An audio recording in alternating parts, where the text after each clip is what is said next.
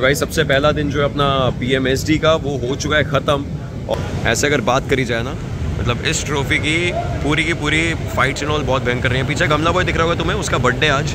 यहाँ पर आईएनएस के प्लेयर्स जोकर क्लच गॉड इनका लास्ट गेम चिकन आया था।